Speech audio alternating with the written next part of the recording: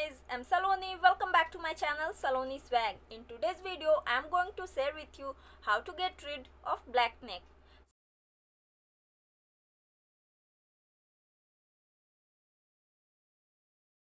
So guys, if you want to know how to get rid of black neck, so watch this video till end. So first of all guys, take a raw green papaya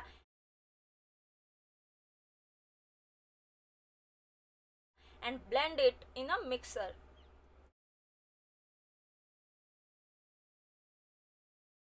Add a pinch of turmeric to it and apply it on your neck. Leave it for 10 minutes then wash with luke water. Do this every day. So guys, if you like this video, then give us a thumbs up and also subscribe to my channel for more such natural remedies from me. See you in my next video. Till then, bye bye. Take care. Have a good day.